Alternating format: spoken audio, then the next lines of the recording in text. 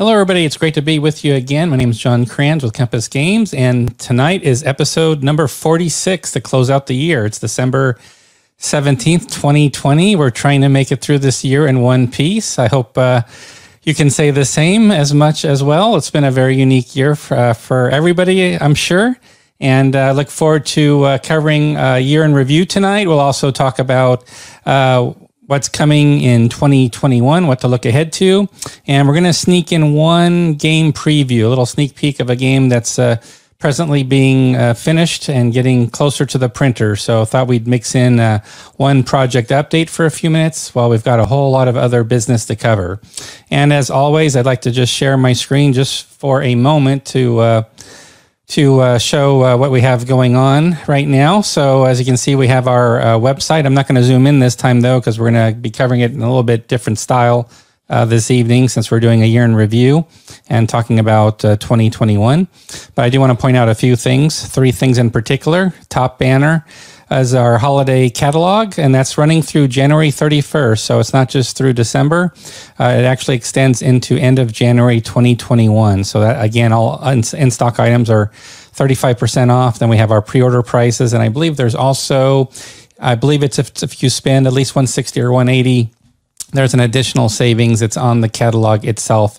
It mentions it as well. So definitely check out our catalog. You can download it by just clicking on this banner. You'll see a PDF you can go to.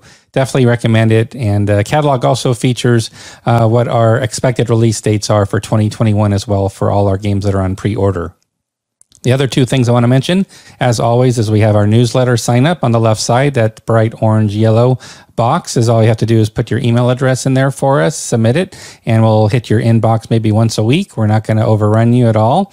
And then thanks to everybody who reaches out to Compass via the Talk to Us, where you see my little waving hand at the bottom right. That's where you can also send us some general feedback, suggestions, ideas. Um, if you're actually needing a direct customer service from Compass, like an order status or pre-order shipment status, you can just email uh, sales at compassgames.com. That will go straight to the office folks folks in the warehouse and will cut me out as the middleman, which I'm sure you'd probably like to do anyway. So, so there you have it. So that's our update. We're going to talk about schedules and everything tonight. Obviously, uh, first let's go ahead and uh, switch gears here for a second. So I want to talk about the uh, newsletter that just went out today. Um, so if you sign up to the newsletter, as you can see here, uh, this is what we basically send out once a week, and we're spotlighting tonight's broadcast, which is our wrapping up the year 2020 for Compass Games. So thanks for joining us here tonight. We really appreciate it. Uh, and then the rest is really a reminder. So we've got the Kickstarter for Armageddon, which I'll show here in a moment. That's our current Kickstarter program. As a reminder for those that pre-ordered the game already, there's nothing you have to do. You've already pre-ordered. Kickstarter is just another way for us to get the word out to to let people know about the game if they haven't been to our website or haven't heard of the games before. So that's just another way we can reach out to others. So just wanted to make that clear to everybody. Um, also, we've got Conquistadors, our last shipping game uh, in the earlier this month in December. a lot of people have received it. Looking forward to some play reports. We haven't seen too many play reports yet, but maybe with the holidays that's going to change. And of course, the game's still available at pre-order price. Stellar Horizons again, a great gift idea. It's back in print, so uh, that's the one most people have asked about. As far as are you going to have it ready in time before the winter break? So yes, we got it out about uh, a week and a half, two weeks ago. A lot of people have received it already. So so um, again, just a great idea. If you want to order it and have it shipped out right away, uh, we can try to get it to somebody hopefully before, uh, say, the 25th, even if that's the date you're looking at uh, as well. And then we have upcoming titles. I'm going to cover more here in a moment. So we're going to skip by that for a second. Again, I talked about the catalog already. Uh, we're on our Discord channel. We've doubled our membership. So we're over 220 members now. And I'll be doing the after party. Uh, we'll do an after show party on the Discord channel. So for those that have access to it, you can just head over to our Discord channel. We'll go into the Applebee's Lounge tonight and we'll just sort of get together as a group, do some video chat, have some fun, and talk maybe about everybody's holiday plans coming up uh, for end of this year. Also, we've got our mobile app. So if you actually go to our um, website or look at our newsletter, you can just take your phone to that uh, QR code, and that will jump you uh, to our special page with all our links, including to our Discord channel. In case you don't know how to reach Discord, you can find it that way as well. So we definitely recommend uh, use Linktree. It's got a lot of handy links on it to help out. We've also got our recording, which is uh, what we did our last town hall meeting, number 12, with Bill Thomas last week on the 10th. And that uh, you can watch that full episode now on our YouTube channel. So that's a lot we covered there. I actually want to backtrack just one tab here. So I don't want to forget uh, Steve Carey. I shout out to Steve Carey, who was out in California. He was mentioning to me that uh, he was really impressed with uh, this 1862 Brothers at War game, not about the game itself so much, but about the tutorial video that was created by uh, Christopher Moeller, the designer of the game. You might be familiar with Christopher, by the way, because he's the designer of Napoleon's Eagles, which we released earlier this year. And we have his second title in that series coming out. It's on pre order right now. It was part of our pre order palooza that we did um, in earlier this winter. But uh, Steve Carey just says this is absolutely, bar none, one of the best tutorial introductory videos he's seen for a game. He felt like he was fully educated on exactly what to expect from the game, and it was just very well done. So, a uh, reason I want to also provide props and thank uh, Stephen for that is also Christopher Moeller is going to be very excited as the designer. He spent considerable time putting this tutorial together. So, just want to make sure you're aware of it. So, if you navigate uh, to our website, you can just type 1862 in the search bar at the top, and you'll see that 1862 Brothers at War will come up pretty quick just with those four numbers there and it'll jump you to this page. And again, just scroll down to the bottom and definitely check out that video tutorial. It comes highly recommended uh, by Steve Carey. And of course, I'd rather believe customers than anybody from Compass. It's just a more honest uh, answer you'll get, I think. That's a more objective uh, feedback, and that's what we love to hear from customers. So let me switch back to full mode here, and let's see what we got next to cover. So let's go here uh, now to our, our, Kickstarter. I wanted to mention our Kickstarter just briefly for a moment. There's five or four days remaining. It was five days a little just a few minutes ago. So we've got about 60 backers, which is great. Uh, again, for funding, it's it's not something we do for funding for a game. Uh, if you're not familiar with Armageddon, it's a really fun beer and pretzel style game solitaire up to a bunch of players. I've seen it played personally at Consim World Expo, which is an event I host every year. They break it out late at night in the foyer area, and uh, they're ho- hooting and hollering, just screaming. It's just a lot of fun uh, to play the game. There's a video here you can watch that was prepared by the designer Kerry Anderson. And if you scroll down uh, to the very bottom, you can also check out the full rules booklet. Just click on the link, and you can also learn more about the game that way. So again, just want to share that with you uh, quickly. So what I'd like to do now is I'd like to segue, as promised, to a year in review for Compass Games for 2020.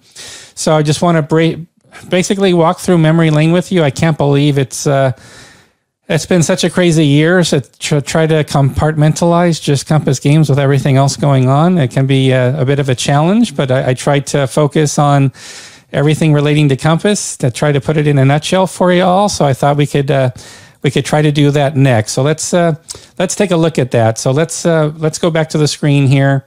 Let's take a look back at 2020. Hopefully, some of these titles will look familiar to you. Yes, I've pretty much put these in order from left to right and top to bottom in order of release. So France 44 was our very first release of 2020 uh, right after the new year. I don't believe, uh, even for the first few releases, I don't think I knew anything about this pandemic thing yet brewing that was going to hit us, but definitely not early January when France 44 was released. That's that Mark Herman uh, Designer Edition game. I do get questions about, uh, yes, there is a Russia 44 game in the offing and it's supposed to mate, uh, and so you can join both games together. Uh, but to be honest, Mark Herman left his hard copy information for that game uh, back east before the pen, or, or, as the pandemic hit. He's now West Coast bound, and he's obviously not traveling right now for uh, precautionary reasons. So he he explained to me, and I've checked in with him that he just uh, you know he's not traveling at all, and uh, he can't get to his materials for Russia 44, which he would need to complete that design. So uh, so we're just going to focus on France 44, and just let you know there's a big C3I review coming out uh, as well on uh, France 44. We think it's going to uh, bring a lot of attention to the game, uh, which uh, we think uh, there's some nice enhancements that were made to the game. Judd Vance did the review, who's a very really likes the game a lot. He's he's played the game for many years, and he was uh, helping develop the new edition of the game for us for Compass. So uh, look for the C3I review in the next issue from Roger McGowan that will spotlight uh, France 1944. Next, we have Ostkrieg. So Ostkrieg uh, is based similar system to what was introduced with Pacific Tide from Gregory Smith. And of course, we've got a game on pre order, which is Imperial Tide, which will be coming next year, uh, first half of next year, which is covering World War One. So Ostkrieg takes Pacific Tide. Uh, from water to land, so from sea to land, and it's obviously covering the Eastern Front. So uh, that's one uh, we recommend you definitely check out if you like the Pacific Tide system uh, America Bomber. So that's now we're getting into our foray of uh, alternate history a little bit here. So it's uh, we didn't win World War II. We didn't wrap it up. It went in favor of the Germans, at least in Europe. Probably we could say for the Japanese as well. So the the uh, concept of America Bomber, it's uh, Germans that are uh, bombing American towns. Gregory did do research. Uh, there was there are there is research available uh, on on what were the targets the Germans had in mind uh, for the United States. So Greg talks about the history and the research that was put into the game as far as the targeted sites, etc. So it is an interesting look of, of, what didn't happen. And and one thing I should just take a moment and pause here for everybody. So if we take a look at everything we did for 2020, it's around so around 20 releases there's a few reprints as well. I'm not going to talk about the reprints tonight, but there were about 20 games. And out of the 20 games, which was somewhat surprising, was the most games, which was World War II again, the count was only five. So there were really only five items from 2020 that were World War II. We had two for World War One, and pretty much a split across the board, like two for ancients, uh, two for around Civil War, then a pre-Civil War gunpowder era, uh, we had ancients around too. So we really had a broad, so I think that's really important. So um, looking at a portfolio approach, because not everybody loves Eastern Front or just World War II, right? You, you, you have other games you want to play. And also we try to do that with Paper Wars. We'll, we'll do all types of games, but Paper Wars is another venue for us to get uh, you know, more more games out that might be on more unique, compelling topics that haven't really been done before. But out of the twenty and I think one was even a player's guide. So one of the five, so one of those five, I think was a player's guide, and the other four were actual games for World War II. So it was a pretty broad mix, to be honest, for 2020. We'll see what happens for 2021. We're going to look at that here in a moment, but I just want to sort of cap off in a big overview fashion. Yeah, we had about 20 releases and we would have had more, but, uh, you know, we were listening to your feedback and a lot of the feedback that did come in was about the counter thickness. We wanted thicker counters. So Bill spent a few months looking at that and then he spent some more time once he found the supplier to get the print test runs done just right. And we did have complications where the backside of the counter sheets had a too much, it was too much weight on the press. So if you notice your counters on the back side, they might be indented slightly from the press, and that press was too strong. So Bill, looking out for the quality, you know, looking out for all of us, you know, it took longer to go through that, and that basically meant a lot of games we had uh, on the schedule for say uh, late October through end of the year were pushed uh, into next uh, next year into 2021 because we want to get these counters out, uh, these improved counters. So, so we actually had a very quiet um, last quarter for Q4 of this year, just to let you know. Uh, and I'll talk in a moment here. Uh, Steve's asking about which games of 2020 were most popular. That's something that um, that Bill talked about in our town hall last week as well. I'll definitely cover that as well. We'll, we'll cover the top three, uh, what those games were. But again, getting back to America Bomber, then we then had two issues of Paper Wars. Uh, Siam, again, it's not World War II, right? So we had Siam, Fall Siam as the topic for Paper Wars. And then we did have John Butterfield's Battle of the Bulge. And uh, this was originally, a lot of people didn't know this. It actually did start as a board game. Uh, what happened was when it went to market, it actually got converted for the iPad uh, for Eric Lee Smith's Shenandoah, Shenandoah Studios. So if you're familiar with what Shenandoah Studios did a few years back with first The Bulge, uh, and then he did uh, Mark Herman's game on North Africa, Ted Raicer's game, I think it was Moscow. They did several titles for the iPad, did quite well, actually. But Bulge was the first one, and it actually did start as a tabletop board game design. It got converted uh, to a digital version through Eric Lee Smith's involvement for Shenandoah Studios.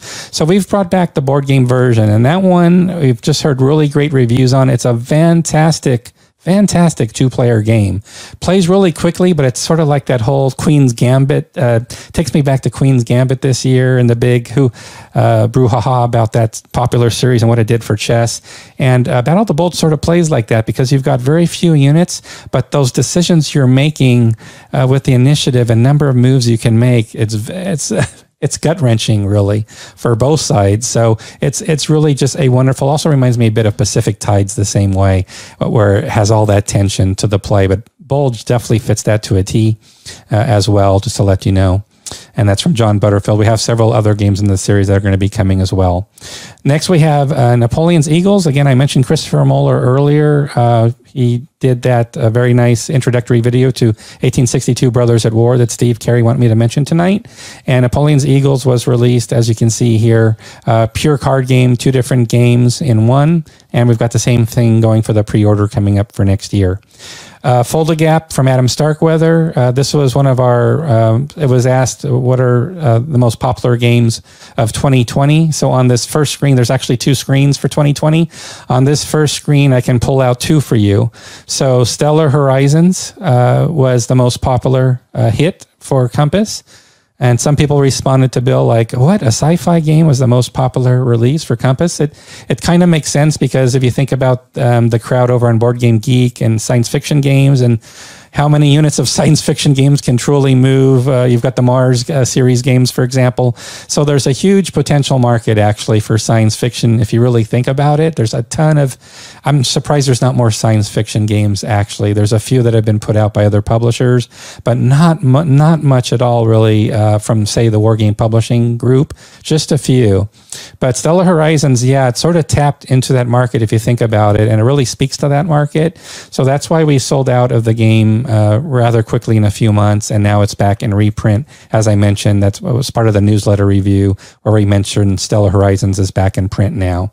But Stellar Horizons was number one. And then Fulda Gap also came in, I believe, at number two.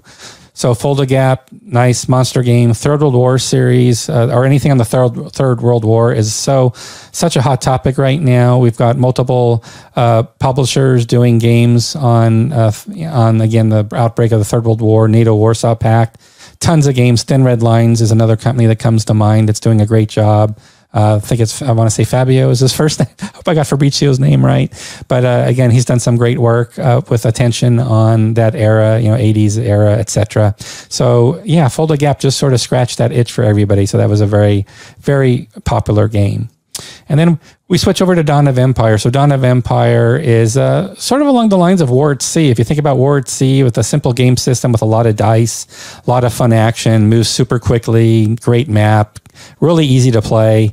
Uh, but fun to play. So that's where Dawn of um, Empire falls, and a lot of people talked about the production quality of Dawn of Empire. So, so that rounds out um, nine of the games, nine of the first games from 2020. So let me see just for a moment before I leave this page. I want to just see what comments we have here um, about the game. So let's see. Well, thanks, Mo, for um, the the kind comments. Really appreciate it. Uh, let's see here. There's a lot of World War III 1985 games out there. Yeah, not just at Compass. There's it's a very hot topic. Like I mentioned, thin. Uh, yeah, there's there's several publishers, and um, some names are escaping me right now. But there's several publishers right now uh, that are doing it uh, and are doing a, a, great job. So absolutely. Uh, let's see what else we have here. Um, yeah, Stellar Horizons deserves two slots, Michael. Thanks for joining us on YouTube. Yeah, that's sort of that big oversized box. I think it came in at 16 pounds is what the weight of the box is, a little over uh, 16 pounds. So it's uh, quite large, quite large for sure. Um, let's see. Yeah, Stellar Horizons are right, but I don't recall when. I think my better uh, half whacked me on the head with it.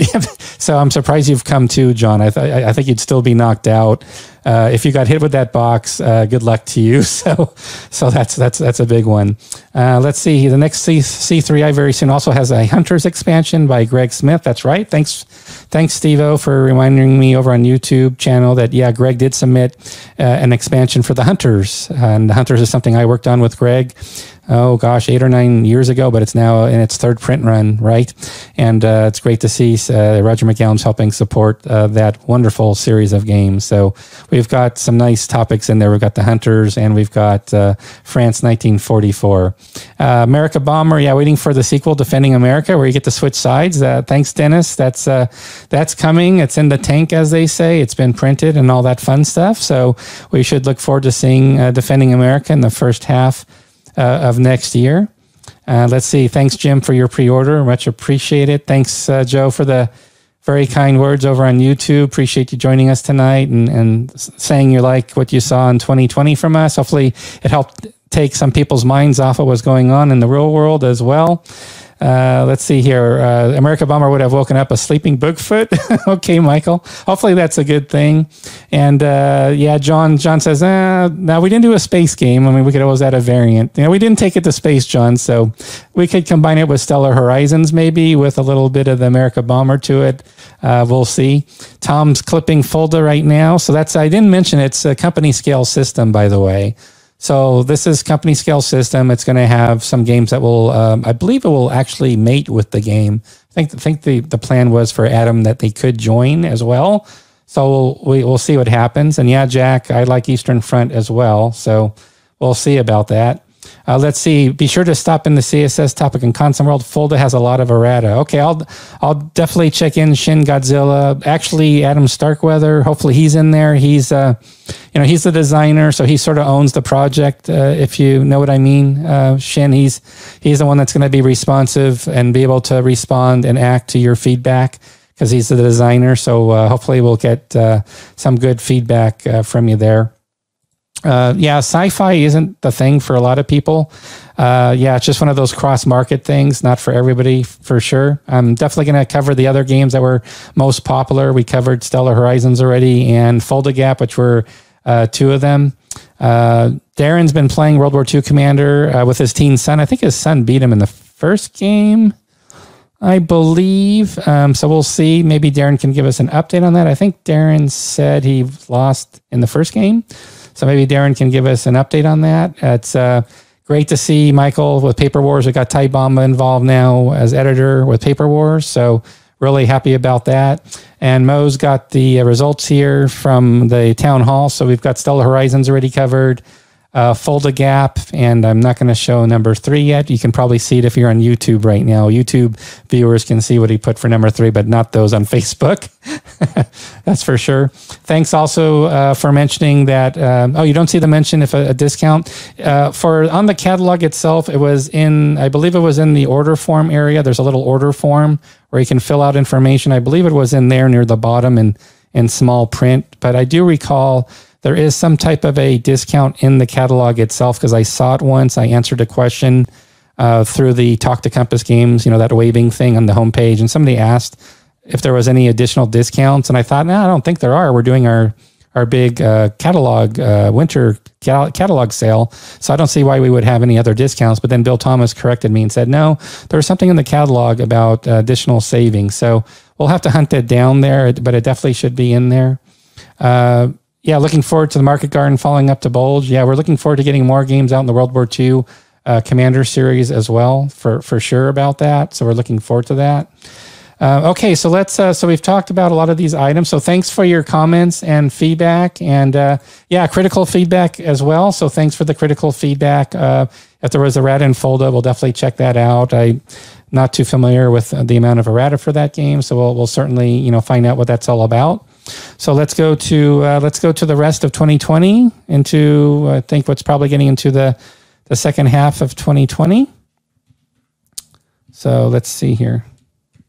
So here we go. So actually, the first item that we have on this list was not a game, but it's still World War II. So I counted it. I hope that's fair. So we had the Russia Besieged Player's Guide. So I've heard some really great things. So Russia Russia Besieged came out at the previous WBC think it was 2018 and I think that was the hot item. It was it was we had advanced copies. Uh, actually, we could just literally came through the warehouse just in time to put on the truck to WBC in 2018, and that seemed to be a really hot, really hot topic at the time. So, so that did really well. And then Art Lupinacci, the designer, he's done just a spectacular job with the player's guide. If you don't have the player's guide, but you've got the game, uh, you sort of want to go you want to go all in guys. So i, I don't want to use a different analogy here because i'll get in trouble with bill but if you've got russia besieged the deluxe and it's the deluxe edition don't forget you want to finish you want to if you get my sense you want to keep keep that train of thought, right? And you'd want to pick up the player's guide because it not only has uh, a millions gazillion illustrations to explain play, gets into play strategy. It also has two small extra counter sheets as well for some advanced things you can do, some variants. So definitely worth checking out. So um, hope some of you online have Russia Besieged. If you have the player's guide, you know, you could probably give a thumbs up or talk about with those online, you know, about the contents of the player's guide. But uh, it's something you'd want to get for sure if you've got the game already. So, Decision at Kasserine is one of my personal favorite games. So, as a gamer in the hobby since a young age, uh, I fell in love with the 3W Wargamer magazine uh, as it first came out of Kasserine. Just absolutely love that game. I think Vance may have done some other North Africa series games by then. I'm not sure. You know, he had a few other battles he did, but uh, something about Kasserine was just uh, just amazing to me. I love the Desert Warfare in World War II and just love the game. So I actually got a hold, if you haven't seen the boxed edition 3W did, beautiful boxed edition of the game as well. So we paid homage to. Uh, to the box edition, and uh, again, a personal project for me here. So uh, I was very happy to work with the Bundesarchiv and actually get the photo and license agreement to be able to get that photo from the Bundesarchiv for our front cover so we could have it again because I think it was just the perfect cover for the perfect game. So uh, again, one of my favorite games from Vance, um, absolutely. So uh, hope you've had a chance to check that out. And then again, see, there's that Ancients itch. So Hannibal. So we go to Ancients with Paper Wars. Hannibal, again, heard some great things about it. Um, again, getting away from World War II again, as you can see here, going back to Ancients. We expect to have some more Ancients games. You know, we'll have a stronger Ancients showing actually in 20, 2021, actually, by maybe an extra game or two based on our, uh, our release roadmap for 2021. So I'm excited about that. But yeah, Hannibal was a great release for Paper Wars. Really excited about that.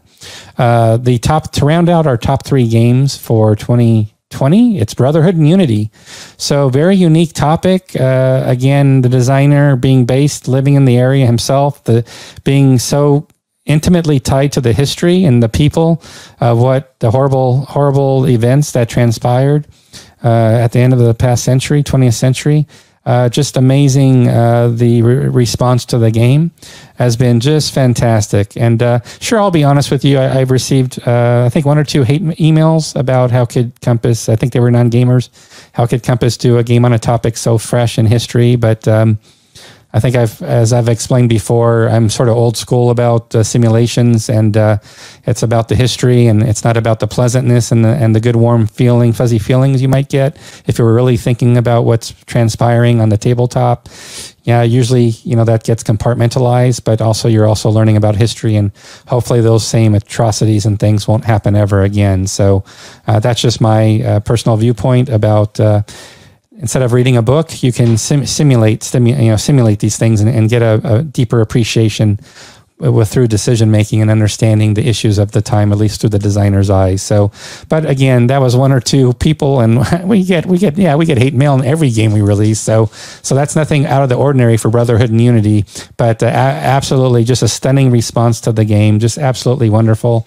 Uh, we're very happy, by the way, that we have Brotherhood and Unity not just on Vassal, but it's also available on Tabletop Simulator. So if you want more of that modern 3D look, uh, really gorgeous looking uh, game engine to play it online, which uh, Tabletop Simulator gets a lot of high marks from people.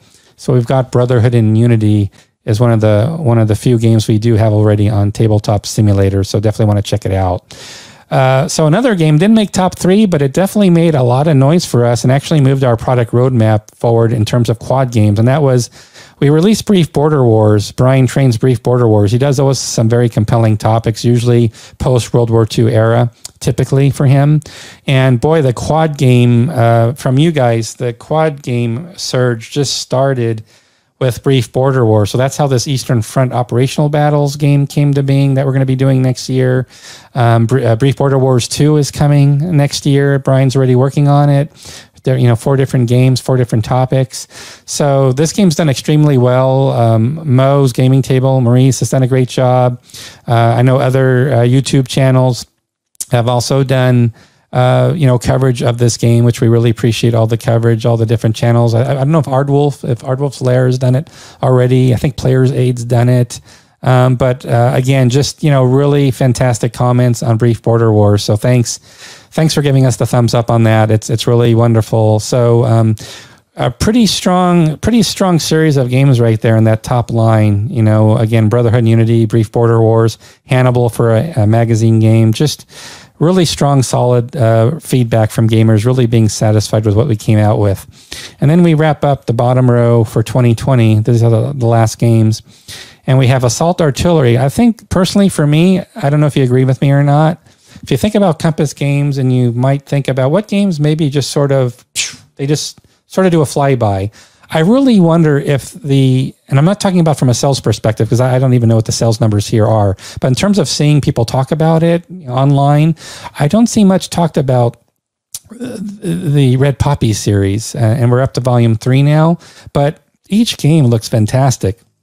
I've pulled out the maps and looked at the counters, and more importantly, looked at the designer notes and the historical detail of the game map for these World War One battles and the system itself that it portrays these battles.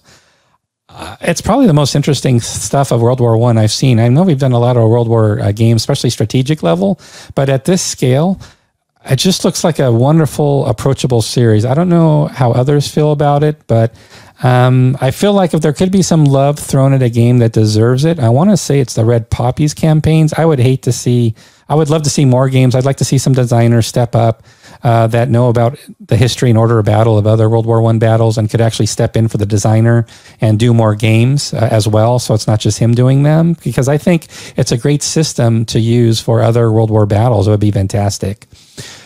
Then we get into another fairly heavy box, but cannot compete with Stellar Horizons, even with all the blocks, and that's Jacobite Rising. So, Jacobite Rising is a standalone game on the Commands and Colors a Revolution uh, system. So, again, you can play Jacobite Rising standalone. And again, we've again seen uh, people have said Richard Borg's adaptation for this era uh, is really really popular. So uh, heard a lot of positive things about Jacobite Rising. It's also a very big package as well, for sure. And even though I mentioned top three, you know, I, I almost feel like these other games did so, you know, very well. And Conquistadors doesn't even have time. It doesn't have a runway to re- really register for 2020 if you think about it being a December release. But Dawn's Early Light, well, that did that did gangbusters for us. And that was one where you know, thankfully we did a Kickstarter, which I think helped a lot because it's a new designer. Um, uh, and we had uh, we we had the rules, so we had the rules available, etc. And we also had him on to talk about the game. So that did extremely well. Dawn's early light, a lot of people scratching, a few people at least scratching their head, wondering what the game would really be like. But when we brought out the Kickstarter with the rules booklet, you could download it and view. You can even go to Kickstarter right now, and it should be on our webpage, product page now as well. But uh, it really was, I think, very insightful to to have those rules there available to really learn about uh, what the designer did here for Dawn's Early Light. And that game's done really well. Of course, we had our designer interview fairly recently in the past month uh, on attrition of souls. So we had Scott Librant on, uh, which was a very good interview. We had a lot of great questions and a lot of interesting comments by uh, Scott were made about his approach to World War One and how he approached games, being a more of a Euro designer. He focuses first, as he mentioned, on mechanics, and then he finds situations that best fit those mechanics of play. And really had a lot of positive feedback about our interview. So if you go back uh, to the Compass YouTube channel, if you, and if you look under our Compass Games live episodes, I think it was just uh, yeah, one or two episodes back, maybe in the last episode, actually. I think it was the last episode, actually, is when we talked with Scott, and, and, and that went, uh, yeah, that went really well. And then, uh, gosh, it's so wonderful um, to have the Conquistadors having shipped this year. I was really wondering if we were going to make the cut uh, to have Jonathan Southard's return to the hobbies. He's a great designer with Carrier and all these awesome Civil War games that he's done as well. He's done some great titles. It, it dates back a little bit to Victory Games uh, time frame. He also did West End Games titles, Civil War. But boy, the Conquistadors, just a wonderful game. But again, the runway for Conquistadors and for Attrition of Souls as well, the runway is just not there anymore in 2020 to really rank this uh, as. So when I when we say top three games for 2020, yeah, to be honest, I'm not worrying too much about bragging rights here because really, I think. I mean, there are so many winners here for us. So, yeah, the three we mentioned already uh, for sure Stellar Horizons, Brotherhood and Unity, uh, Fulda Gap, the top three. But you got to look at these other ones. We've got Brief Border Wars, Jacobite Rising for the block players. So for the block players, that's that's the number one game right there. If you're a block player, that's that's the one you're going to like the most. Uh, a lot of people really like Dawn's Early Light. That could have been the that could have been sort of the surprise of the year actually.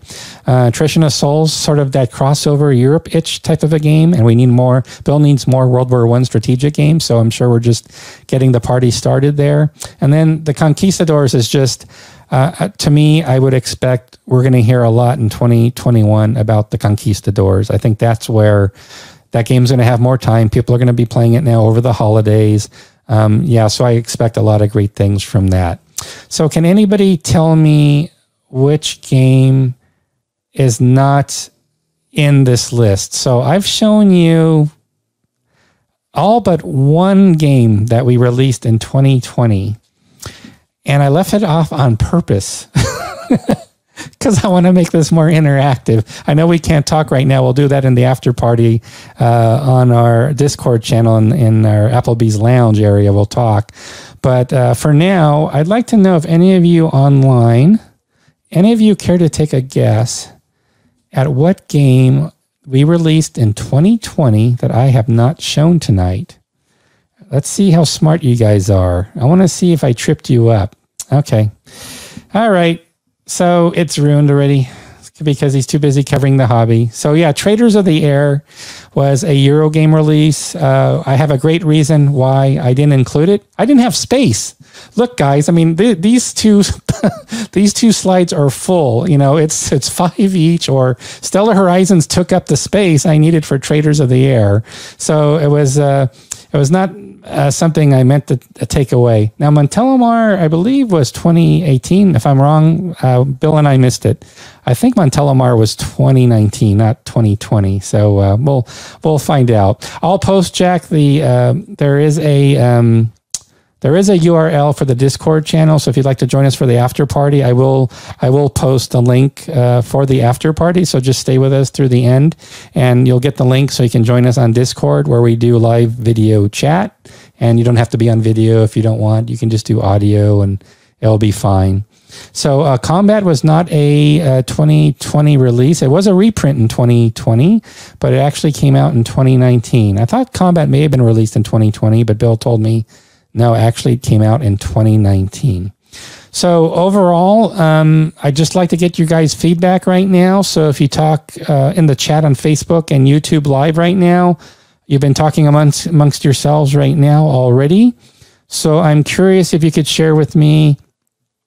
I'm going to take a moment. If you could just share with me for a moment, what do you think uh, of the year 2020 for Compass? A little over 20 titles. We had a pause, operational pause uh, you know, I feel like we had Guderian's operational pause here in uh, because of the counter situation to get better counters to you guys for the Q4. But I'd like to get your feedback on what you thought of it. In the meantime, I'm going to look up that link right now uh, for uh, for joining the uh, Discord channel for Compass because I know people are asking for it. I don't want you to have to worry about it, so I'm going to get that to you right now. And uh, here you go. So I'm posting it right now. So you're going to see a link in chat on both YouTube and Facebook. And that if you, I don't know if you can click on the link probably in chat, you probably have to copy and paste it onto your browser uh, destination uh, field. But if you go there, you can automatically, you'll get piped right into Discord. So give that a shot.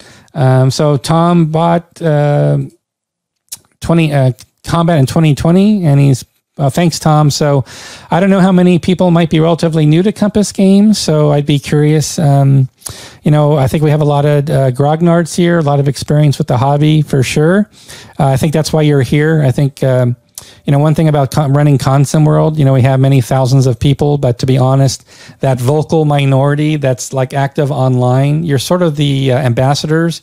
And really, I consider you all evangelists. You're really evangelists of the hobby because if you have a local gaming group or people are asking you questions online or on forums or, or Facebook or Board Game Geek or uh, you know wherever you happen to be, you, are sort of influencers because you're tied into the hobby because you're spending time with publishers, you're following things on social media, and about 97, 98 percent of the hobby isn't really doing that. Uh, especially and obviously for Compass Games, you're like our top five percent audience. So so the stuff you take away from these sessions, it's really sort of that word of mouth, what you can uh, tell others. That's really impactful for sure. Uh, let's see here. Um, so uh, Andrew uh, joining us from Australia. Thanks, Andrew.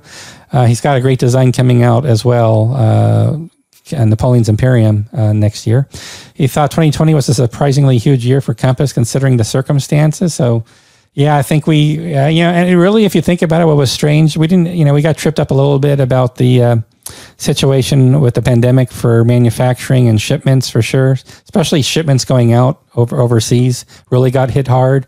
Uh, but really, you know, even that counter, getting those counters uh, with a new supplier, that one actually, uh, that one hit us as well for Q4 for sure, Andrew. So thanks uh, for the comments. Uh, thanks E4. So uh, started buying in 2018. I hope I hope you've been satisfied with your purchases, E4. Uh, you've been happy with the support. You like the titles you see coming.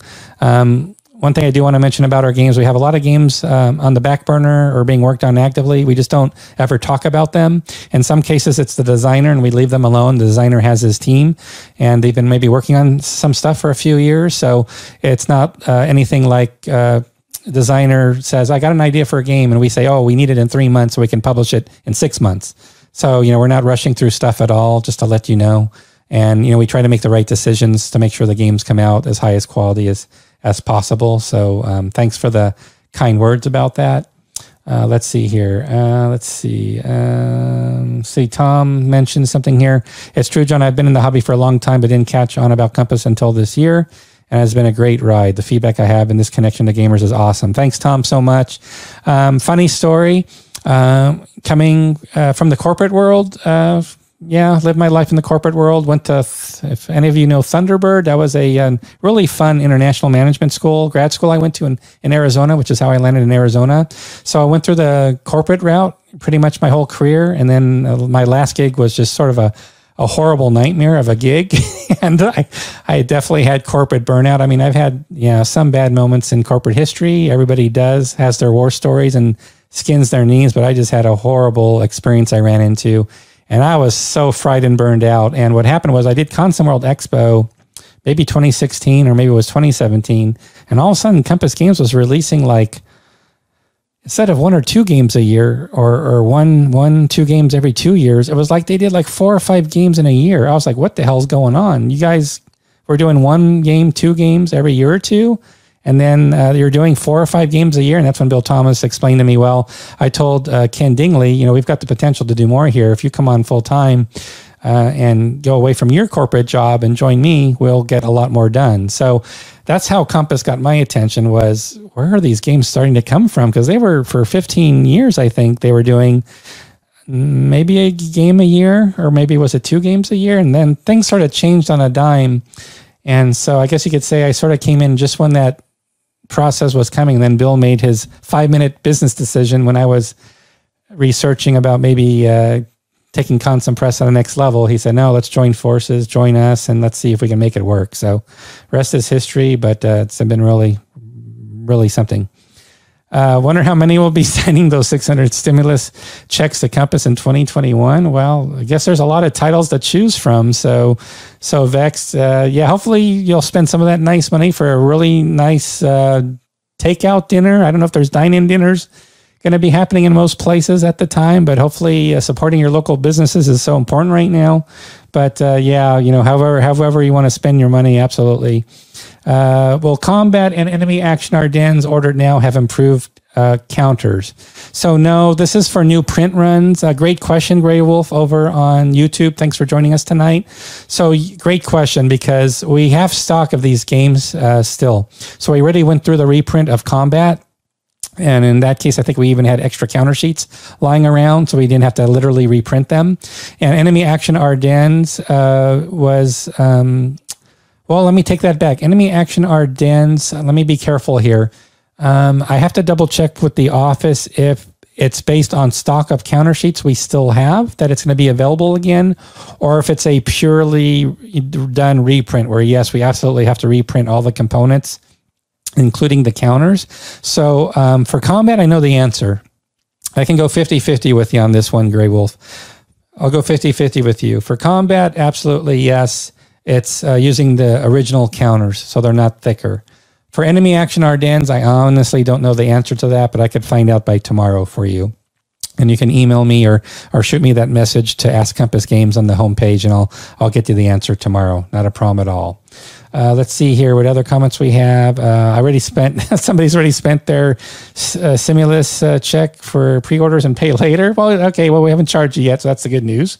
So I'm happy. I'm happy about that. That we haven't uh, haven't necessarily charged you that. Uh, let's see other comments. Uh, now that's thinking like a war gamer. Always the positive modifiers. yes, yeah. We need to do an episode about what games did you play in 2020, and this could be from any publishers really. But yeah, maybe specific to Compass would be good just to hear what games did you play from Compass Games in 2020. So thank you, Martin, for the list of games. So there's Russia. I hope you have the uh, player's handbook, uh, Martin for Russia Besieged. I think it's very important that you have that player's handbook. It will increase your enjoyment of the game. I will not steer you wrong. I would not steer you wrong about that. Brotherhood and Unity, uh, awesome. Foul, Fall Blau is one I want to play because I love the Operation Typhoon uh, system or game from SPI days, and Fall Blau is using the same system. Bitter Woods is a classic. Uh, that's a wonderful game. War for the Union by Rob Beyma. Another Empire's Alliances also by Rob Beyma. Martin, I, Martin, are you overseas? I got to hang out with you. Are you like in Sweden or Norway still, or did you move stateside? Because I think I need to travel out to you and uh, and find out where you are. Uh, good source for products in Canada. Uh, I think uh, maybe Mo's Game Table Mo, Maurice Fitzgerald can probably comment for that right now. I won't be able to comment live, but uh, if not, I'll provide you some good sources for Canada. Uh, absolutely. Uh, thanks for saying the, the box covers. You, you, like the box covers. We have a we have our branding, so you always see the compass swoosh at the bottom of that box with the logo, with the credits, etc., and then the name, and then the top. We try to have at least one of the stripes, etc. So we always try to use that same whoosh branding to be consistent. And uh, I'm glad you guys like it. Uh, we have, you know, we we always look for good suggestions for box art. Um, we don't, we haven't, you know, we're always looking to improve. So thanks for the kind comments about that. Uh, yeah, you don't have to pay right away. You can just do the pay later. So everybody keep that in mind. Pay later. Uh, commands and colors, uh, American Revolution, awesome. E4, yeah, that block system. People said they love what happened with the block system, what Richard Borg did to enhance the system, to model, not to enhance it in general, but how he's using it to model uh, Revolution period. So that, that's very cool. Uh, Aaron's relatively new to Compass. Only game owned prior to 2020 was Gettysburg Pea Ridge. Um, so Gettysburg Pea Ridge, I'm assuming that's Battle Hymn, perhaps. And uh, yes, okay, it is Battle Hymn. Waiting for the next volume. So, Aaron, I know you're on YouTube right now. If you get a chance to hop over to Facebook, if you do, uh, if you are on Facebook, on our Facebook page, Eric Lee Smith is posting playtest uh, re, uh, re, uh, progress reports from playtest for uh, for the next game in the series. So, definitely want to check out. Um, I think it's Bentonville. Actually, it's the scenario. It's Bentonville, so you might want to check that out if you can. Thanks for subscribing, Gordon. Great to see you, Gordon. Thanks for also attending Compass Expo events as well. Appreciate it very much. Thanks for being a subscriber to Paper Wars. Uh, let's see. Uh, it looks like your order, how you ordered, we fixed it for you. So great to see that. Awesome. Uh, early summer playing Absolute Victory game really, really helped pass the lockdown time. oh, that's awesome, Rick. So happy, Rick, over on Facebook to hear that helped you with lockdown. It was really interesting. I was watching, I saw on eBay uh, there was a game uh, that was mint condition flat tray, Global War from SPI. And I almost was almost thinking of buying it, but you know, like I have a punch version. I, I love SPI. I'm a collector of SPI games basically because I was young then, right? So uh, it's a walk down memory lane. That's a nostalgic reasons is why. But um, but uh, somebody told me that well, if you you know, Global War had all those development issues, and although there is there is a great uh, there is a fan based uh, rules version now for Global War from SPI that's very good. I've been following that on the ConsimWorld forum, so I was reading about it, deciding if I want to buy the game off eBay. But then somebody made the comment, well, Absolute Victory is really like Global War done right. So I thought about that. I go, you know what? Yeah, if it was between Global War and having to learn a whole new system and things didn't quite work out with Global War from SPI, it's, you know, you'd have to sort of, it got retooled, if you know what I mean. It got retooled uh, from the SPI release. It needed it. So that was a very insightful comment about Absolute Victory is sort of the, is sort of that Global War from SPI sort of done right. So I thought that's very cool. Uh, let's see. Dennis says his old brain cannot recall when he started buying Compass, but it has been a few years. You know, Dennis, if you send us a few hundred dollars, um, we could look up the records and we could tell you exactly when you started buying. I'm I'm just joking. Thanks for the support. Really, really appreciate it very much. Uh, happy to share Jim with you guys. Uh, absolutely. Uh, thanks for the kind words. Uh, still trying to earn my keep at Compass, as you can see. Um, you know, other hat is working on all the projects, so we're going to do a project uh, uh, sneak peek, if you will, and just here in a moment. So I'm looking forward to doing a sneak peek of a project with you all. Uh, Aaron Smith bought Attrition of Souls and Dawn's Early Light and love both. Awesome. Uh, yeah, we've, we've, we're getting good uh, reviews. You know, the mounted maps and everything has definitely been the way to go. For all our one mappers, we try to do is mounted games, right? So anything that's a one mapper, mounted components, deluxe counters, um, or uber deluxe counters with the rounded edges usually. So, Aaron, thank you very much for the count words. Yeah, the attrition of souls are one inch counters, I believe. I don't know if Dawn's early light were one inch counters or not. I'd have to check. Uh, John's not getting a stimulus check. Ah, better ask the wife. Yep, I got you on that one. Random events roll there for uh, John Longshore. Uh, how did I land? Uh, how did I land my dream job? I, I, could tell you it's doing what I'm doing right now, but I don't have time to tell you because we've got too much to cover to review 2020, and I don't want to bore you with my personal stuff. So um, maybe maybe if you want to be bored in a future episode, we can we can do that.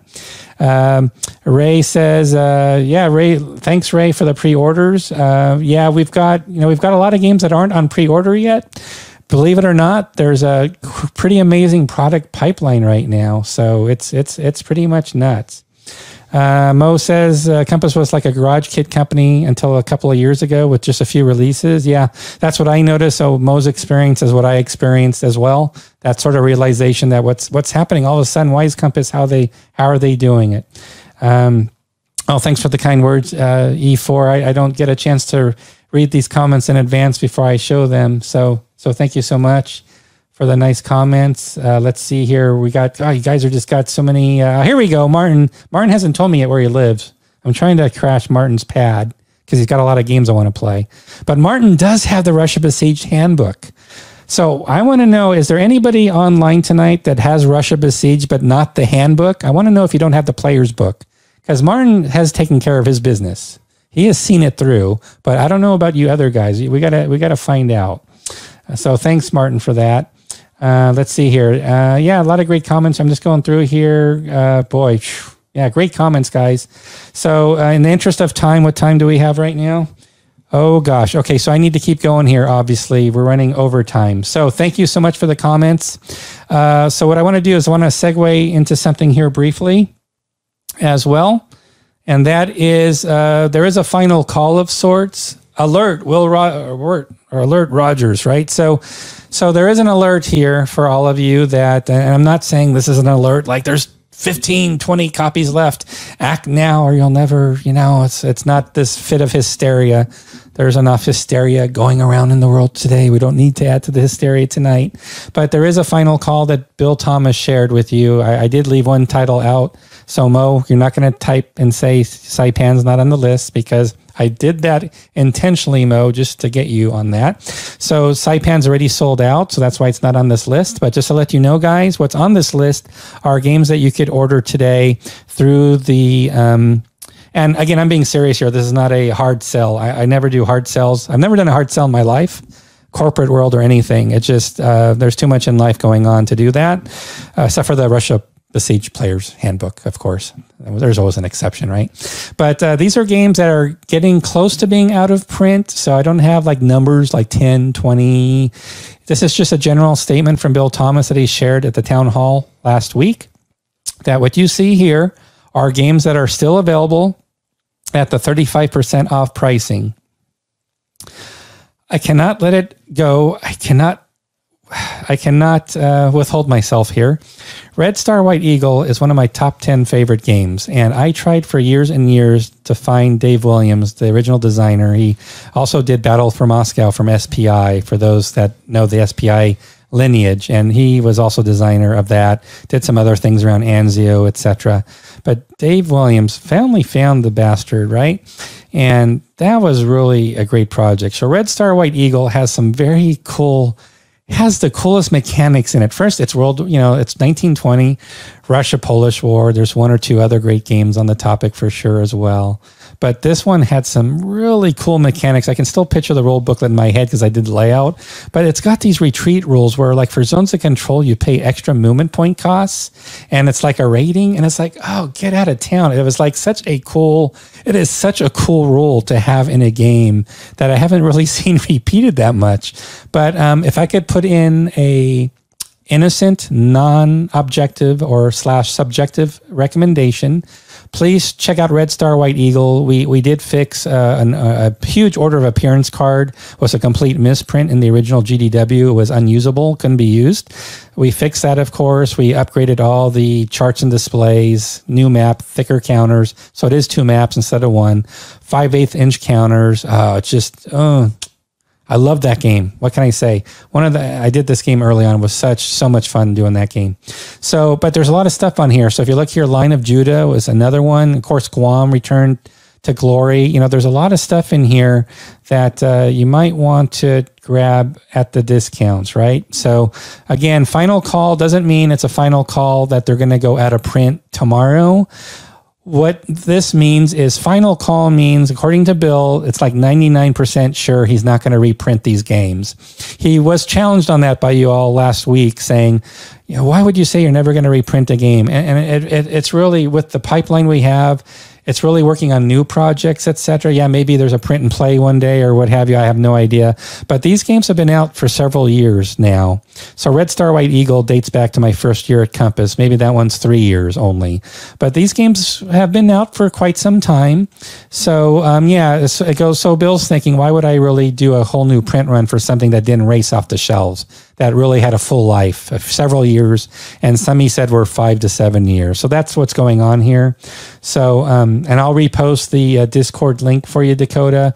Uh, in a moment. That's absolutely not a problem if you hang on. So I'll be happy to do that. So again, this is just a last call, if if I could say that for all of you that these games aren't going out of print tomorrow, is my understanding. But uh, these will not get reprinted. Bill does not plan to reprint any of these games.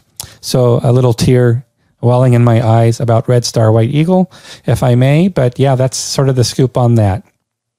So I'd like to do now is we're going to switch gears here for a moment because I wanted to jump. Uh, I wanted to jump into a uh, game sneak peek, if that's okay. And I just want to make sure I'm set up okay for it here. So I'm just sort of I just took my screen share away uh, for obvious reasons uh, just so I can share share with you what I want to share with you next. So I promise to come back to the to the screen here. So let's uh, let's do that. So I want to give you an update on a project I've been working on for a little bit of time here. I did finish up the Russian campaign 1974, original 1974 edition. We've talked about that already. Uh, it's been at the printers now. It's going to be released, I think, Q2. I've talked quite a bit about that.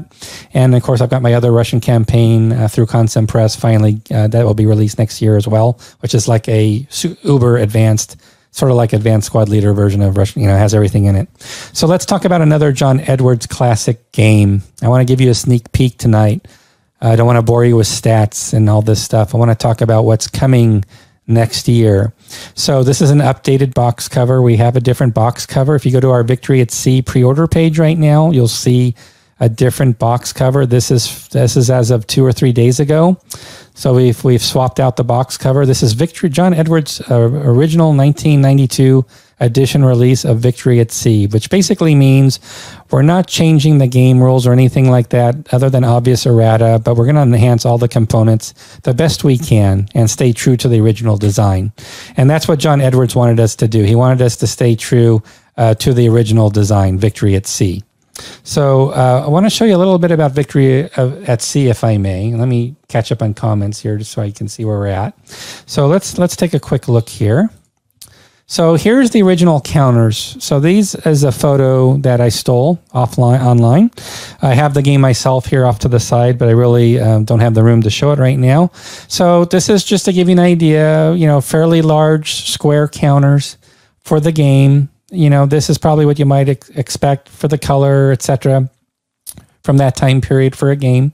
And then also I want to show you the, I like to show you the game map, the original game map as well. So here's the original game map. I'll go full in on this. So this is the original game map. It's a it's an interesting odd size. You'll see a fold line. It folds in half right down that horizontal vertical. And that was actually the size of the box. It's in a big flat box. And, uh, Oh, I should have brought the box with me. I should have showed it to you, but I forgot to bring it. But uh, it's got a big flat box, so when you fold the map over just that one fold, it it goes right straight into the box. And it's not 22 by 34. It's a really odd uh, size, to be honest with you. I can't recall the size. It's like I want to say 18 by 20, and it's just a, it's a, it's an off size. It's not a full size map. It's actually less than a full size map, using those large counters, etc. But what we decided to do was um, we didn't want to blow up. You know, there's no reason to blow up a map like this, guys. You can look at the size of the areas already, and we've already got large uh, counters in the original game. So we didn't need to do anything to enlarge the map like we did with uh, uh, Red Star White Eagle or uh, Decision at Kasserine or those other designer edition games. So for this original edition, we kept the exact same footprint. Maybe we added an inch only. So our version is going to be the same, pretty much the same size, but it's going to have additional folds. It's going to have additional folds on the map because it's going to go into a bookcase box, obviously. So the fold lines will be different, but it's going to be the same size map. It's going to be smaller than a full size map, basically. So what I'd like to do now is show you. So just give me a moment here as I navigate so I can show you what we're going to sneak peek tonight. So let me pull that up here quickly. And let's see here where I have it.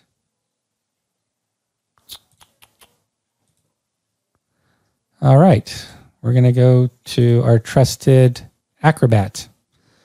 We're going to go to PDF, PDFsville. So this is our new map. I hope you can see that okay. Um, I don't know if I can go full screen here because I might lose the other tab. So maybe this is large enough for you guys. So remember if you can, the original map uh, is right. Uh, see if I can go back to the original map at all just to do a side by side. So the original map is right here. So it's got those dark colors. We're not using a swastika, by the way.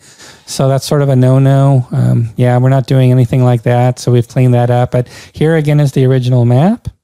And here is the new map. So I hope you like what you see. Again, it's going to be less than a full-size map. Okay. So uh, again, just the areas. It's like War at Sea. If you think about War at Sea, uh, you know, we're basically following that same footprint. We've added a few little extra details uh, to the map as well. But it's a very simple game. It's like War at Sea or Dice at Sea, if you're familiar with that system, right? It, it, comes from War at Sea. So Victory at Sea, its lineage is War at Sea. So it's like Victory in the Pacific. It's throwing the dice, having all that fun. Uh, some other things I can share with you is here's now what the counters are going to look like. So before uh, you saw those uh, one color counters, like it was blue background with the black print and the black silhouette and here you can see if I zoom in here a little bit for you, you can see a little more. Can you see the detail now with the flags? Um, using sort of a naval insignia for the Germans here, just to, to do that proper there. And uh, you can see, you know, they're going to be one inch counters. So these are very large counters. They're one inch in size. So uber big counters, but it works perfectly the map's a little larger than a half size map, but you saw how big those areas are. So this is going to work very much in tandem to the original game. Large counters, uh, with the map. So this is going to work same footprint, just updated, upgraded components. So you can see all that information there. We also added a backside. The other game had some additional markers or things. It didn't have any backside to the markers at all. In this case, there is a purpose to have uh, backsides to the markers. So we introduce the backsides to the markers that do serve a purpose for the game. So you will have that. Here's sheet number two, which will only be a half sheet. So got some control markers. Uh, in the original game, they had these little cutout cards. It was not uh, not like cardstock cards. It was almost like paper very or uh, not heavy cardstock, but they were cards you have to use scissors on to do control. So we didn't have to do that. We just did them as large one inch counters. So we've got we added control markers to them. Uh, these won't be rounded counters though. However, these are full uh, one inch square. These are the same. It's the same counter sheet as Attrition of Souls, so we're using that same counter sheet, uh, uh, one inch thick, just to let you know. So, uh, so that's what they are. Uh, but there's also markers in the game. So these are 9 16th inch in size to track what are we tracking? Well, it's it's a victory with dice, right? it's, it's it's all those damage results happening on your map. So obviously that's a huge part of John Edwards War at Sea, Victory in the Pacific, Victory at Sea uh, line of games. It's all about tracking damage, guys. So we're doing 9 16th inch counters. We think that's a good size to complement the place on top of the one inch counters. So that's gonna I think fit nicely here. So 9 16th inch. Here's the back side of the markers. Yeah, we got some uh, sunk markers, unfortunately, sadly to say, if that happens, yes, you'll sink, right? Get some sunk markers there as well. And then just to share, round it out a little bit, is want to share the charts with you a little bit. So uh, we've definitely upgraded. There really were no charts in in the original game. Uh, so uh, yeah, so this is this was an easy this was an easy victory to do a little bit, bit a better job uh, bringing it into 21st century here. So very easy player's aid card with reminders of everything going on. We've got the optional rules, how to read the units. Sorry, skip there, but yeah, pretty you know pretty straightforward. Then we got the I should go smaller here. Here's the full sequence of play card on the back side. So you have your also your sequence of play that you can reference. So uh, again, just handy to have. And then we added something new, which you don't honestly really need in the game, but we wanted to do it to be nice. We did an initial setup display.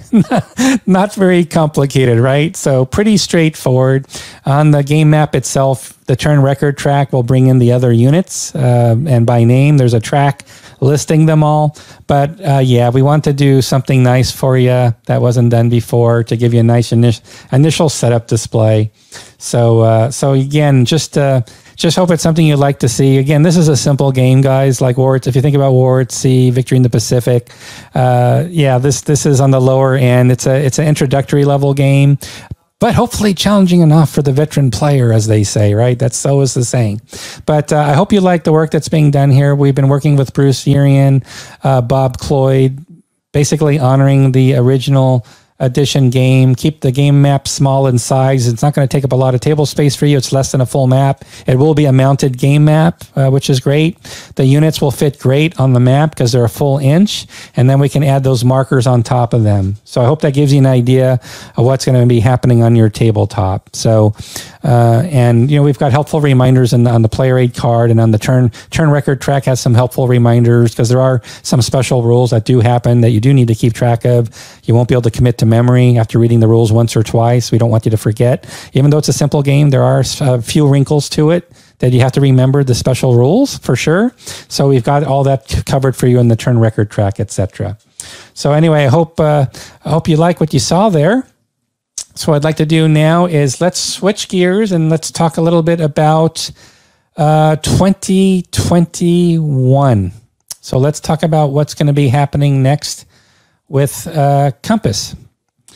So let's go to that right now. So again, I'm going to be um, sharing my screen. So let's bring it up.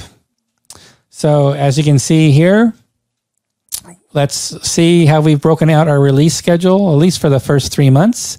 This is also posted on our schedule. So the first release for January will be Devil Boats, which did extremely well. Especially the Kickstarter just sort of did gangbusters for us. Was caught us off guard, uh, did great. So Joe Carter's game did wonderful, and uh, we're excited to be releasing that right after the new year. Then we have Coalition, strategic Napoleonic game, can play the entire war in one sitting, uh, one night sitting, perhaps.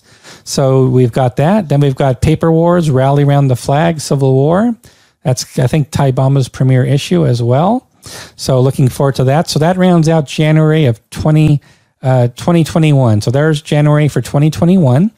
Then for February, we have obviously uh, again these the, the order might shift slightly. I'm not sure, but again for February, uh, right now, the lineup is first out of the gate with Indian Ocean region. Some of you have asked me about, well, what about South China Sea? Because there's lineage with South China Sea, same system uh, Indian Ocean region uses that game system, and we are in the process of reprinting South China Sea, but we don't have a release date. We don't have a release date yet for South China Sea. Obviously, the sooner we can get it, the better, because uh, it would be closer to when Indian Ocean region ships. And as people like that game, they might not have South China Sea. So it'd be a great way to, to promote and motivate folks to pick up, at least pre order the reprint. But it's going to be coming uh, relatively quickly, I believe, in 2021. We just don't have a date yet for Indian Ocean region. Then we have Cradle of Civilization. So we're going to Ancients. Then we round out the uh, Magnus Opus World War II treatment. We started with the War Europe, and then we did the expansion kit for the War Europe, and now we've got the War the Pacific, which can be combined with the War Europe. so, so now we're going real big. So we're going from Victory at Sea from John Edwards to the War the Pacific, and and all all, all, your manhood will be corrected because it's a very manly game, very complex, manly game for sure. The War of the Pacific, a great monster game from Ernie Copley. And then, as I mentioned earlier, we've got uh, Andrew who's joining us from uh, uh, from Australia today. Uh, good day, good morning to you, Andrew. Uh, Andrew's design, Napoleon's Imperium, and he's shown you the history of that design. Goes back over uh, 20 years, and he's got his uh, custom built table with custom built miniatures. I you know spent many thousands of thousands of dollars to to create this uh, custom um, think of it think of it as the fanciest chess set in the world, except for it's for a Napoleonic game, and that's what uh, that's what Andrew did. Andrew Roland did with Napoleon's Imperium, and we're doing the board game version. We're not charging you fifteen thousand dollars. We're not charging you twenty thousand dollars. No, we're charging you much less because it's going to be a board game. So, so just want to make that clear.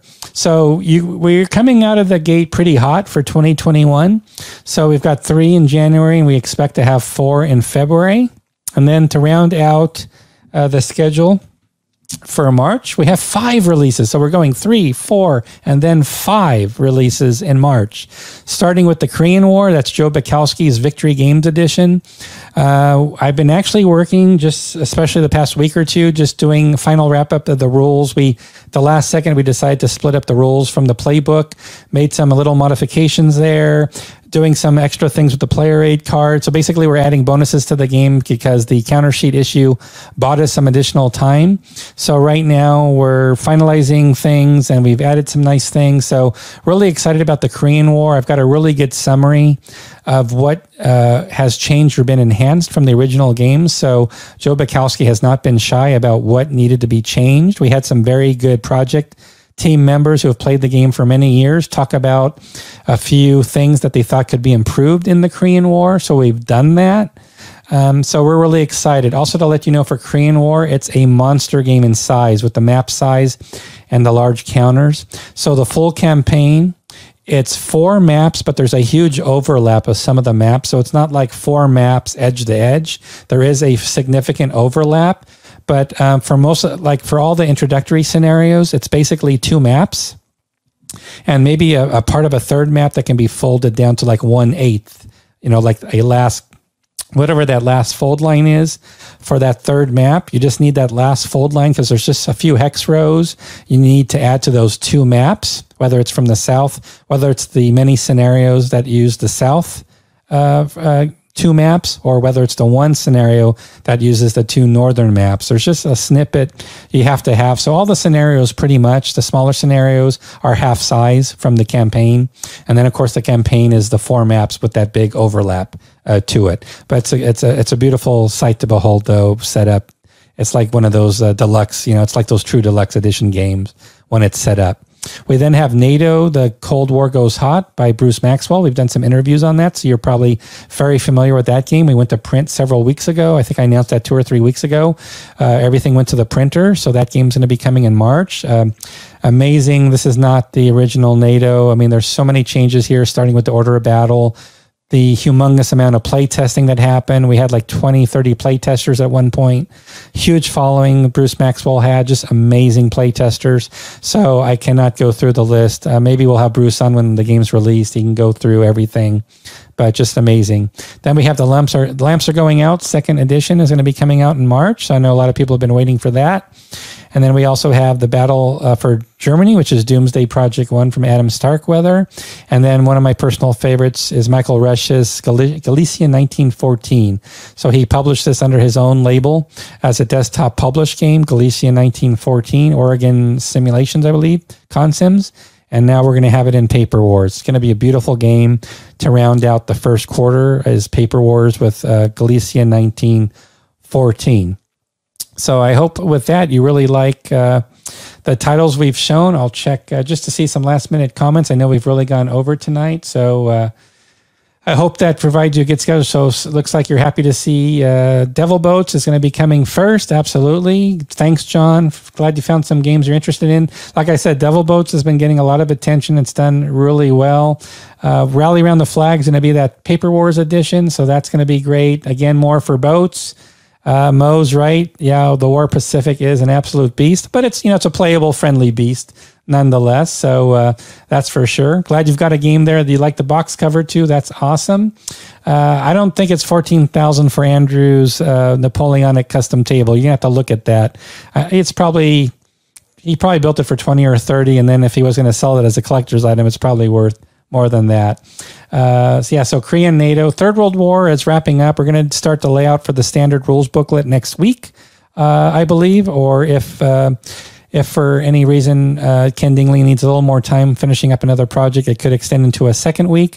But next up, actually, is we're finishing up. We're actually finishing up Third World War doing the layout of the standard rules. And we're, when the standard rules layout's done, we're going to be doing the playbook, which is obviously covers all four games, all scenarios, the combined campaign, everything. So we're wrapping up Third World War series, but it's not going to be in Q1 for 2021. Uh, we're going to try to make Q end of Q2 of 2021 would be awesome. That's what we're shooting for. But we're in the we're hitting the home stretch uh, for Third World War series. Uh, absolutely. Uh, NATO's coming. It's going to be amazing. Uh, we'll have to have Adam on Starkweather, the designer, to tell tell us more about Doomsday Project for sure. Uh, I know people have been waiting for Lamps, Steve, so uh, we're happy to have it. Check out Galicia. You can see it online on ConsimWorld Forum or obviously Board Game Geek. You can get more information about the game. So we're very happy it's going. It's graduating from print and play to you know professionally produced, published game with maps and mounted counters. It's going to be very nice. So that's going to be great uh, yeah, Korean War is going to be awesome. So Sal, it's uh, yeah, what Balkoski's done uh, with the game, and and really the experienced gamers that were involved in the project. That's really a key differential. Same with Third World War series and NATO. When you have people that know a game inside out, they've lived the game, and they end up helping you with a project, you get some pretty amazing results. So. Thanks for the thumbs up, Steve, on the Paper Wars cover. So uh, thanks for that, Dennis. You, I know you've had to leave, so thanks so much. Just want to recognize you for the for the um, if you replay the video, I want to thank you, Dennis, for being there. So let's see here. NATO or Battle for Germany or Third World War? My big, my first big war game decision for 2021. There you go. Absolutely. That's the same for World War One strategic, uh, Michael. We we do throw those dilemmas at people. Uh, so that's for sure. And let's see. I'm not sure, Ardwulf, which game, the designer of which game. I'll have to see. I'll just check which game because I didn't catch it midstream. Sorry about that. There's a lot of comments in here, but let me know what game you were talking about, or maybe somebody's answering your question online already. So, Devil Boats, Devil Boats. I see Devil Boats. Uh, yeah, yeah, definitely happy holidays to everybody. Merry Christmas, Happy Hanukkah, uh, whatever uh, you know, whatever you're celebrating with your family and friends this year. Absolutely, uh, absolutely right. Um, let's see here. Uh, just going through final comments here. Uh, let's see here. Sorry if I missed any realistic release for these games. Combat 2 is around summer time frame, so uh, probably early Q3. Enemy Action Kharkov. I'm working on that right now. I'm, I'm, i should say I'm facilitating that one right now with John Butterfield. We've got all those proofreaders right now. So I'm going to guess, I'm going to say second half of 2021 for Enemy Action Kharkov. That's what I'm going to say there. Um, yeah, Contact Now Tactical Game Series. Uh, yeah, that one's going to be coming. So uh, we should expect the first release of that game in 2021, actually, at least one of the games, if not uh, two games. I believe the first one's NATO. That's the one everybody's been waiting for is the NATO one. So that will be that'll be first. And then Ardwulf got your answer, Michael Resch. Yeah, same one who did the Twilight games, 1914 Twilight. That's his game. Or so I think we got some answers. Joe Carter's a designer of uh, Devil Boats, uh, and also we're looking to do uh, another game with him as well, which I can't mention yet, uh, unfortunately. So yeah, so great comments from everybody. I really appreciate it very much. So I'm sorry I ran so far over. I hope this was a good overview of what transpired in 2020 for Compass um, and what we have coming first quarter of 2021. I hope you liked the sneak peek of what's happening as well. We're looking forward to 2021 because we hope to have obviously Compass Games Expo in November over Veterans Day weekend. We'll be actively promoting after the new year. Compass Games Expo 2021 will be back for face to face gaming uh, in November. We look forward to that as well, as well as all our other activities. I promised that I would post the link for um, Discord channel. We're going to move over to our after party to Discord uh, in into uh, yeah. Let me pull that up here quickly for you. So I promised I would post that again for you all. So here is the link, and you go to Applebee's Lounge. You just need to go to Applebee's Lounge. When you get on Discord, scroll down near the bottom. There's a bunch of voice video channels, and the first one's Applebee's Lounge. We'll be meeting in there just for a few minutes. I do want to leave you with one last message or two last messages. First, Want to wish you all uh, happy, safe holidays. I hope you're all going to get some vacation time in soon because you've all surely deserve it. Um, hope you have fun, a great time, memorable uh, time with family and friends. I hope you can get together as a family this year. Um, also, uh, would like to mention that we might be doing a special show on Christmas Day evening. So we figure most people will be sort of fried, mentally fried after all the gift giving for those celebrating Christmas. Usually it's done by Christmas, late morning, early afternoon. So nothing official yet. Don't be surprised if we announce on Friday, December 25th, 8 p.m. Eastern, 5 p.m. Pacific. Bill Thomas might be on to share something special with you guys. So I'll leave it at that for now. But in the meantime, I want to thank you so much for all the direction, all the tough love you've given us, for feedback, critical feedback, things to help us be better. You know, keep keep the comments coming. You've given us game proposals, all kinds of ideas. You've supported our games, you've promoted our games. So we can't thank you enough for what you did for Compass. Bill mentioned 2020 was a phenomenal year for Compass, a, a year of growth despite the craziness happening around us. So we're so thankful to all of you for all you've done for us. Uh, really, we couldn't do it without you, obviously. Just there's no question about that. But uh, yeah, we want you to stay healthy and safe. And enjoy. We want you to enjoy our games and enjoy games from other publishers. Uh, last thing I want to say about Discord channel, since it's fairly new, we have upgraded Discord a very high level for 1080 uh, HD quality video and and great sound quality. So it's better than any other board game company's site on Discord I'm aware of. So you're welcome to join Discord. And what people do is they play games using the video or the voice channels. And you, you're welcome to play any game from any publisher on our Compass Games Discord site. You'll really appreciate and enjoy the quality of the HD video, which you won't get from any other Discord sites right now that I'm aware of, or the enhanced voice sound quality. So definitely, if you're looking to do Vassal games, Tabletop Simulator, any games online, please take advantage of our voice or our video that we have on our Discord channel. That's really how Discord got known was through online gaming and having those voice uh, video qualities uh, capabilities. So, with that, please uh, join us if you will over on our Discord for After Hours. I will see you there. Thank you so much for a very special and memorable 2020. Uh, I hope it was a good year for you. I know some of you have had uh, some very tough challenges, or your family members. I'm very sorry for that. Um, hopefully, it's something we can learn so we can appreciate our other things in life even more moving forward. So, thank you so much, everybody. Want to wish you all a, a very good night, and perhaps I will not only see you on the after party right now on Discord channel, but perhaps, perhaps I might see you next Friday on Christmas Day in the evening. Let's see what happens. Good night, everybody. Thank you.